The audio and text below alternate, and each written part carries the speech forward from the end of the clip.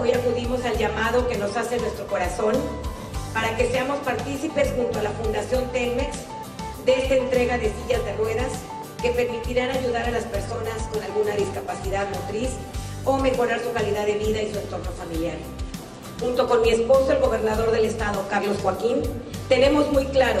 que el desarrollo sostenido de Quintana Roo solo será posible si existe una sociedad más justa y más equitativa.